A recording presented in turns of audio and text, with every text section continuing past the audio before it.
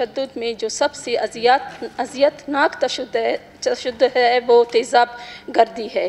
اس سے نہ صرف ایک عورت کی جسم گائل ہو جاتی ہے، بلکہ اس کی نہ صرف جسم اس کے چہرہ گائل ہو جاتا ہے، اس کی روح بھی اس میں گائل ہو جاتی ہے۔ یہ اس کا بخوبی اندازہ وہ لوگ لگا سکتے ہیں جو اس عمل سے گزرے ہوں۔ اللہ کرے کہ ہمارے معاشرے میں عورت کو وہ مقام اور عزت ملے جو اسے دین اسلام نے دیا ہے۔ بعض لوگ اپنی ذاتی دشمنی اور اسد کی بنا پر خواتین اور بچوں پر تیزاب پھینک دیتے ہیں۔ بعض اوقات ایسا ہوتا ہے کہ بعض خواتین اپنے شوہروں کے آتوں بھی تیزاب گردی کا شکار ہوتے ہیں، پھر وہ اپنے بچوں کی خاطر اپنے شوہروں کو معاف کر دیتی ہیں۔ ابھی دیکھا جائے تو بعض کیسز ایسے ہیں جو رپورٹ ہی نہیں ہوتی ہیں۔ اگر بعض کیسز رپورٹ نہیں ہوں گی تو ان کی داد رسائی کیسے ہوں گی؟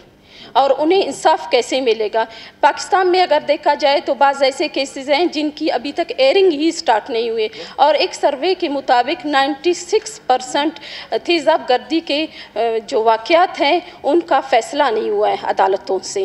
نہ صرف پاکستان میں ایسے واقعات ہوتے ہیں، بلکہ باہر کے ملکوں میں بھی ہوتے ہیں۔ دو ہزار سترہ میں لندن میں ایسے کئی تیزاب گردی کے واقعات میں۔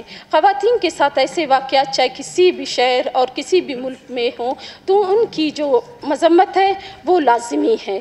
جیسے اب اس تحریک میں جو خواتین پر سریاب میں تیزاب گردی ہوئی، اس میں خواتین اور بچے جھلس گئے تھے۔ میں، ہماری جمعیت کے ساتھ خواتین اور گورنمنٹ کے ہم لوگ گئے ہاسپٹل میں۔ ان کی صحیح ٹریٹمنٹ بھی نہیں ہو رہی تھی، دیکھ بھال بھی نہیں ہو رہی تھی ڈاکٹرز بھی موجود نہیں تھے۔ اور جو ان کے مجرم تھے، وہ فرار ہو گئے تھے اور آج تک گرفتار نہیں ہوئے اس قسم کے۔